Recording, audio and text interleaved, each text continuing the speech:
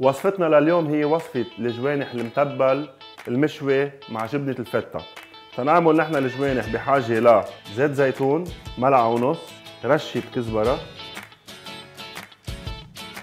رشة ملح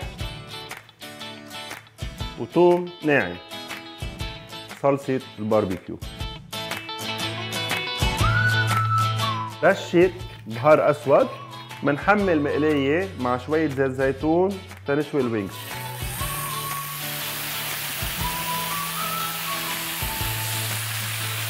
شوية فليفلة.